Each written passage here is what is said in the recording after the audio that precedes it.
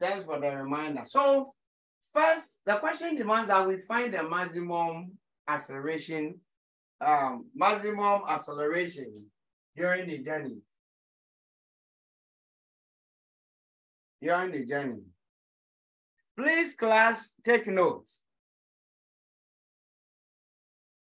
You see, when we look at the whole journey, we have acceleration here.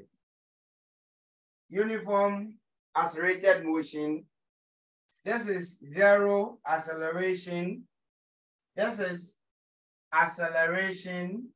And then this is a complete deceleration.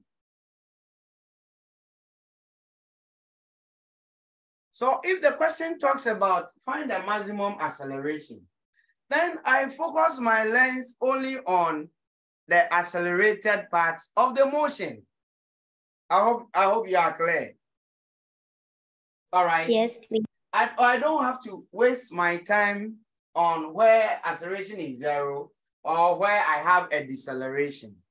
It's an acceleration. If the question demands a deceleration, you will be told. So I'll only consider this side and then consider this side and compare. Okay, so what is the acceleration here? I just, and if you have a speed time graph or velocity time graph, the slope would give you the acceleration. So I find the slope here, which is the change in the vertical over the change in the horizontal. I also find the slope here, change in the vertical over the change in the horizontal. This part will give me the acceleration. Then I compare. All right. So if we look at the first side, A, let's assume this is A, B, slope of A. Slope of A would be equal to change in the vertical over the change in horizontal. So 20 minus 0 over, over 0 0.5 minus 0. So this 0, 0 0.5 is actually 1 on, 1 on 2, okay? Or 5 on 10. So I have 2 on 1 by 10 on 5. Okay.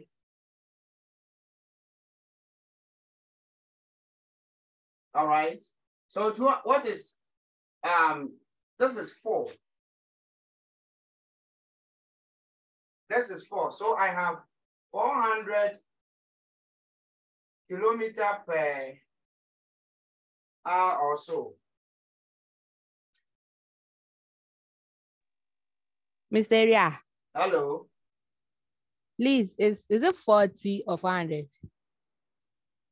I'm coming. This is 20 divided by 0 0.5.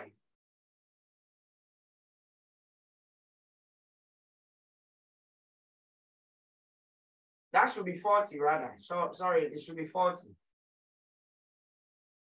This should be 40. Thank you. Then we look at slope of, of B.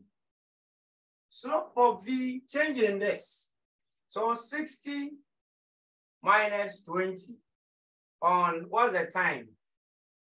1 minus 0 0.75. So I have 40 divided by 0 0.25.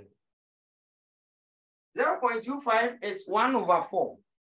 So we have 40 on 1 times 4 on 1, giving us 160 kilometer per hour square.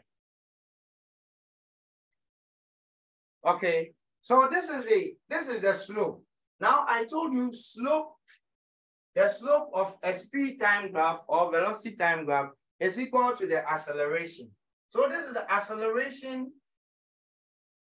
at A, whereas this is also acceleration at B. When you compare which one, which one would give you a maximum value? Class. Which of these two would give you a maximum value? Slope B. Slope B. So, so certainly it is this side that will give you the maximum acceleration. So the maximum acceleration is equal to 160 kilometer per hour squared. That's the problem of the day. Any question? No question. The second part. Distance covered during the interval from 0.75 to 1 hour. Distance covered during the interval from 0.75 to 1 hour. Yes, really. I'm listening. Oh, Okay, please go ahead. please. Uh, mhm, mhm, I'm listening. Please, uh, why didn't we use the A is equal to V minus two over T, but we used the um equation for the slope? Oh, we can we can use that as well. Okay. We can also use that. Let's see. Let's use the equation. V is equal to U plus AT. Okay, so A is equal to V minus U on T. But we have to segregate it to parts, this part and this part, because acceleration and acceleration. Really, are you okay? So Yes, acceleration at A, what is V? Within the said, um, the- within the time interval, what's the final velocity? The final velocity is 20. Twenty. So tw- 20 minus the, the initial velocity. What's the initial velocity? Zero. What's the time interval? 0.5. Really divided, let's see. 20 divided by 0.5. The value will certainly be the same as we got. Are you okay?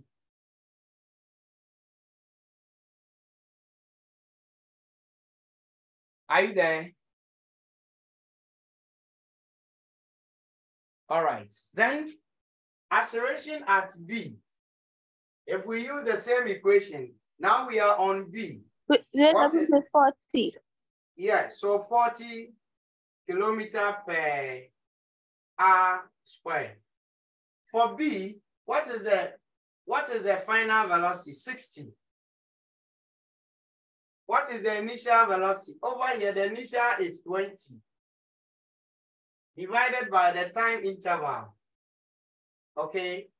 The final velocity goes with a time of one hour, whereas the initial velocity 20 goes with a time of 0.75. So we have 40 divided by 0.25. And it will also give us the same value, 160 kilometer per hour square. Really, are you okay? Yes, please. Thank Oh, you. Xavier. Welcome. So whichever way you go, the same value. Okay, then the maximum. the Stadia. maximum- Hello. And please, what you just cleaned, we used um kilometer per hour. Yes, that we used that one with the negative one, and then here we use it with the negative two. Why didn't we use the same? right? So is it supposed to be with the negative two or with the negative one? Which which one are you talking about?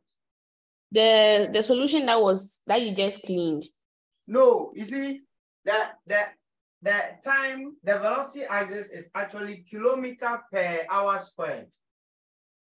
Kilometer per hour squared. And then this is this is not to second, it's hour. Okay. And so you you end up having the acceleration in kilometer per hour squared. Sorry, this is per per hour, not squared. Is that is that okay? Yes, please. Good. So distance covered during the interval from 0.75 to 1 hour. We are looking for the distance covered within this interval. I had told you that if you have um, a velocity time graph, okay, the area under a velocity time graph would give you the distance covered. So even, even if it's a, it's a curve, even if it's a curve. The motion is a curve like this. The area under it would give you the distance covered. Once it's a velocity time graph. And I'm saying this because of one of the exercises I gave you, the graph I gave you. You were asked to compare the, the distance covered by the cars, car A, B, C, C. Please, can you recall? Yes, please. Yes, Good. please. Good. And one of the one of the uh, graph is curved. But when you look at it, okay, looking at the time interval within which the question was set, the area for that curvy motion is larger than all of them. Okay, so all that you have to uh, understand is that the area under a velocity time graph will give you the total distance covered, whether the whether the graph is a straight line, is a curve, or whatever. Look for the area within the time interval. So looking at this, from 0.75 to 1 hour, this is the whole area. This is the whole area within the time interval set, okay? And what shape is this? What shape is this? A trapezium. trapezium. So we use the area of a trapezium to find the distance. So a distance covered becomes half A plus B times H. What is A? Yes, help me to determine the A part. What is A? The A part. Quick one. If you are ready, please share. 20. Go 20. B. What's the B? Yeah, quick, quick, quick. 60. Six. And then the height. What is H? Twenty. 0.25. Okay, so we have half by 80 by 1 on 4. Okay, and look at something. This is 80 divided by 8, giving you 10 kilometer. Some of you were, were giving me this distance in meter. Please, it's in kilometer. Are we okay? Yes, please. Yes, so that's the problem of the day. Any question? Today, I want us to, after going through one of this, in fact, we'll, we'll start a new topic. Amma, Amma, go Sir, ahead. Please, I still don't, sir, please, I still don't get it. The distance covered. The area, Amma, the area under a velocity time graph will be equal to, or would, uh, would, would give you the what? The, the The total, to- the total distance covered. Okay, so if you have a velocity time graph, the area under it would give you the total distance covered within the time interval. Am I okay? So all that you have to do is that look for the time interval. Just look for the time interval. okay, And, and the time interval is between 0.75 and 1. So we are talking about this time interval. So the area with another time interval would give you the total distance covered. And this, area is the area of a trapezium. So use the formula for finding area of a trapezium to get the distance. So that's what we've done. Area of a trapezium is given by half A, blah, blah, blah, blah. So we identify what is A. This is the A part. This side is the A part. This side is the B part. This side becomes H. So you just substitute into the equation your values. Amma, are you okay?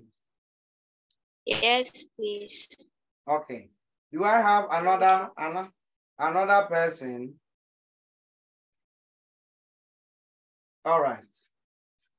Okay, then please let's try this question. I'm I'm I'm dictating, so be ready to put it down.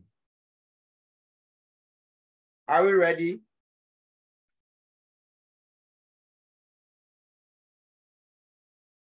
Hello, are we ready?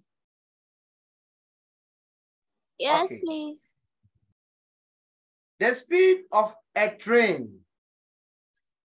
The speed of a train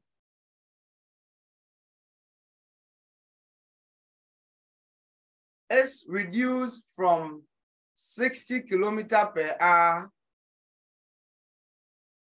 to 15 kilometer per hour. The speed of a train is reduced from 60 kilometer per hour to 15 kilometer per hour whilst it travels a distance of 450 me- um, meter. I take it again. The speed of a train is reduced from 60 kilometer per hour to 15 kilometer per hour whilst it travels a distance of 450 meter.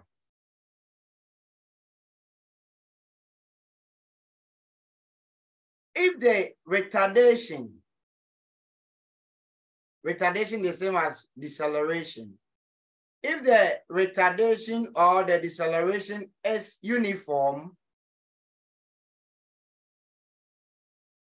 find how much further it will travel before coming to rest. If, if the retardation, same as deceleration is uniform, find how much further it, it will travel before coming to rest. Please, are you okay with the question? Yes, please. Yes, please. All right. So I'm giving uh-huh. the speed of Can a you train. The speed of a train is reduced from 60 kilometer per hour to 15 kilometer per hour. Whilst it travels a distance of 450 meter.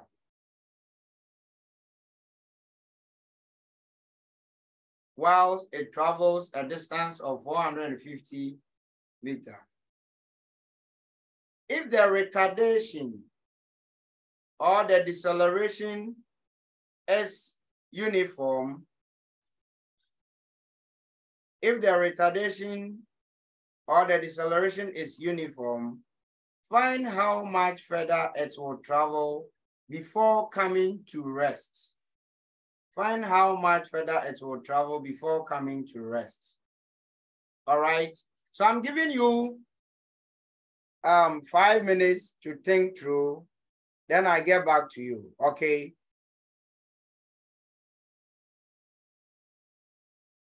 Class, is that okay? Yes, please.